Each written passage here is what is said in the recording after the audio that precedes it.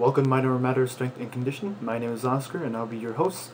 For previous videos and more progressions, please visit the channel. Hi, welcome to Mind Over Matter Strength Conditioning. My name is Oscar and I'll be your host. This is part two in our series of exercises for total knee replacement surgery.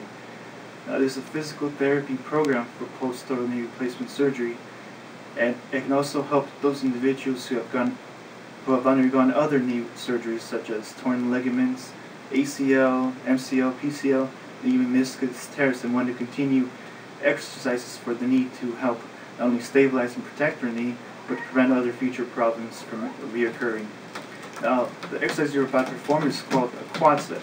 Now, this is the easiest and simple progressions of the knee exercise given after knee surgery, and it really helps because it helps distribute blood.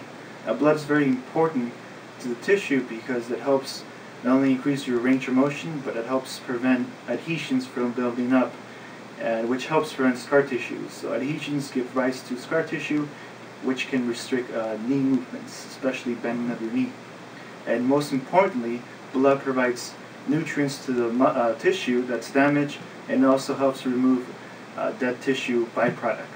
This exercise and the next video progressions, it can help increase your recovery time. For any questions, comments, or concerns, you can post them on the wall.